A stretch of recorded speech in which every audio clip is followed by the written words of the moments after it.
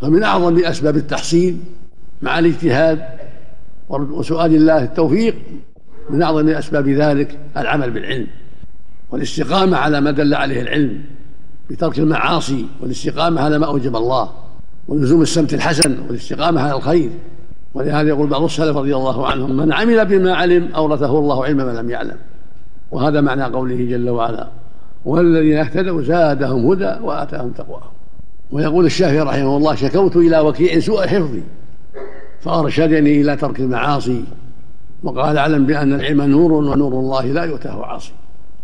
ويروى عن مالك رحمه الله أنه قال للشافعي لما جلس بين يديه ورأى حرصه على العلم وما منحه الله من الذكاء والفهم قال إني أرى الله قد ألقى عليك من نوره فاحذر أن تطفئه بالمعاصي.